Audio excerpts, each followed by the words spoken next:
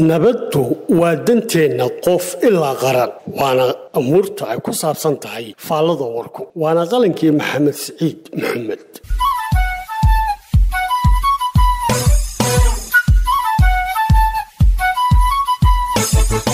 Nabaddu waa seeska koowaad ee nolosha waana furaha horumarka oo la'aanteed aanay maangal ahayn in lagu tallaabsado horu socod iyo iftiin nololeed midna waana sababta murti badan oo ahmiyadda nabadda ah hore loogu sheegay. Dalkeenna jamhuuriyadda somalilan waxay himilooyinka uu ku tanaaday ka mid a nabadgelyada cagahaada ku taagan oo duniduna inagu naanaysto laambadda xasiloonida iyo dimuqraadiyadda geeska afrika. Intii nabadgelyadu ka hirgashay somalilan waa muddada qarannimadeenu kaalin gashay ee ay inoo dhismeen hay'adaha iyo laamaha kala duwan ee dowladdu sidoo kale waa muddada ay ganacsiga gaarka ahi uu qaan gaadhay islamarkaana noqday mid xawaare dheereeya ku socda. Nabadgelyaduna waxa inoo horseeday dibudhiska dalka oo maanta magaalooyinka dalku ay noqdeen qaar afarlaamay marka la eego dhinacyada dadweynaha iyo dhismayaashaba dowladda jamhuuriyadda somalilanna waxay mudnaanta koowaad ee waxqabadkeeda asal uga dhigtay saacad iyo sabin kasta ilaalinta iyo xoojinta nabadgelyada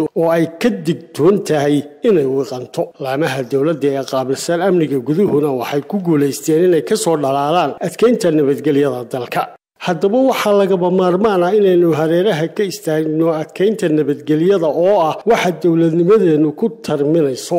Si aynu u gaadho himilada aynu beegsanayno ee ah in somalilan ka mid noqoto qaramada madaxa bannaan ee caalamka. Xisbiyada iyo ururada siyaasadda ee ku loolami doona doorashooyinka madaxtooyada iyo towrada ee lagu wado inay dalka ka qabsoomaan saddex iyo tobanka noofembar laba kun iyo afar iyo labaatan. Waxaa la gudboon inaanay ku khamaarin nabadgelyada dalka islamarkaa ka hortagaan wax kasta oo carqalad ku keeni kara xasiloonida dalka. Ugu dambeyn waxaa shacab iyo xukuumad iyo asxaabba inala gudboon inaynu ilaashano nabadgelyada dalka oo dan inoo wada ah qof qoys ilaa qaran